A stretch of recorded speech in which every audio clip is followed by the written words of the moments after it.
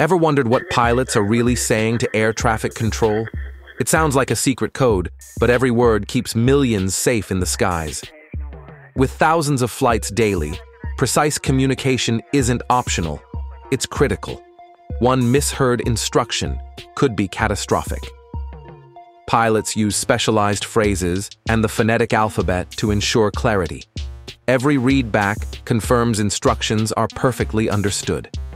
In real scenarios, rapid exchanges guide pilots through takeoff, landing, or sudden changes, like a perfectly choreographed aerial ballet. ATC isn't just words. Transponders, squawk codes, and data link systems all supplement communication, making modern aviation safer and more efficient. Trust, training, and teamwork are key. By 2035, AI and automation may enhance communication, but the human element will always guide the skies.